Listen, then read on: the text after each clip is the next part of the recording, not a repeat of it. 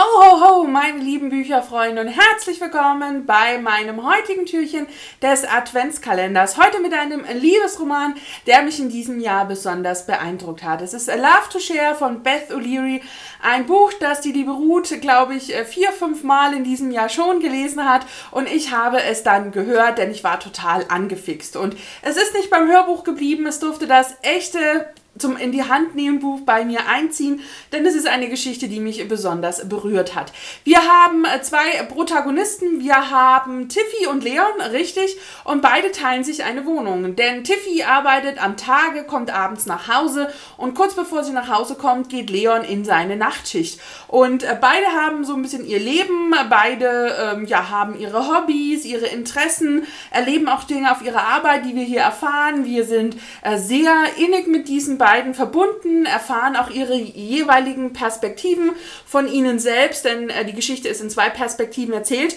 Und äh, ja, es fängt aber bei beiden dann so ein bisschen an, dass sie sich austauschen über Post-its, über Nachrichten, ähm, dass sie sich auch so ein bisschen kennenlernen, obwohl sie sich nicht sehen. Und das äh, sind so die ersten Knistermomente und wunderbaren, herzerwärmende Momente, die mir besonders gut gefallen haben. Die Geschichte baut sich sehr langsam auch, auch die Freundschaft, diese Liebesgeschichte, sie ist sehr langsam erzählt. Man hat nicht den Eindruck, die rumpeln da in irgendwas rein und zack, ist es die große Liebe, sondern äh, wir lernen eben beides sehr gut kennen, ähm, haben ihre Gedanken im Kopf, wir wissen, was sie fühlen, warum sie so fühlen, wo es hingeht und ja, wir sind ganz nah bei diesen beiden und das hat Beth O'Leary für mich wirklich sehr, sehr besonders an dieser Geschichte gemacht und äh, konnte mich damit wirklich sehr, sehr begeistern und äh, ja, konnte mich einfach packen. Der Schreibstil war sehr modern, sehr flüssig, er war sehr angenehm zum Zuhören, er war sehr tiefgründig, hat die Charaktere näher gebracht, war sehr emotional, hat nicht nur diese Liebesgeschichte in den Fokus gestellt oder dieses Wir,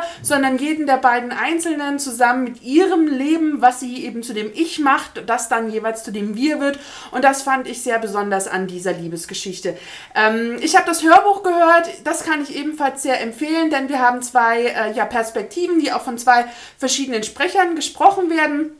Mein Problem mit dem Hörbuch war so ein bisschen, dass ihre Stimme doch ein bisschen lauter war als seine Stimme und man, wenn man ihn verstehen wollte, manchmal ein bisschen lauter machen musste, dann aber doch sehr erschrocken ist gefühlt, wenn ihre Stimme gekommen ist. Das fand ich ein bisschen schade. Ich weiß nicht, ob äh, sich das Audible vielleicht im Nachgang mal irgendwie noch angesehen hat. Äh, wahrscheinlich nicht, aber die Tonspur so zu vereinheitlichen ist ja eigentlich gar kein so großer Act.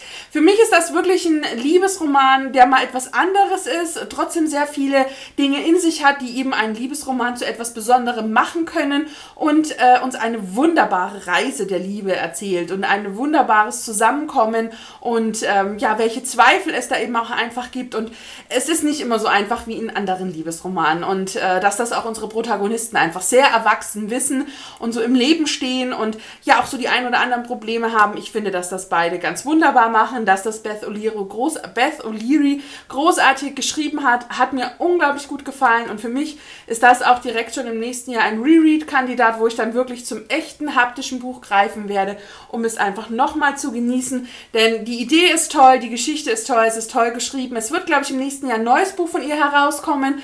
Ähm, ich habe jetzt schon irgendwie mal das Datum gesehen, wusste aber nicht, ob es das Englische ist oder dann schon ins Deutsche übersetzt. Und ich freue mich sehr drauf und bin sehr, sehr gespannt, äh, was wir von Beth O'Leary noch so ein bisschen erwarten können. Und äh, ja, hatte meine große Freude mit Love to Share. Das war es jetzt auch schon, das neunte Türchen. Ich wünsche euch eine schöne Adventszeit und freue mich, euch im nächsten Türchen wiederzusehen. Macht's gut!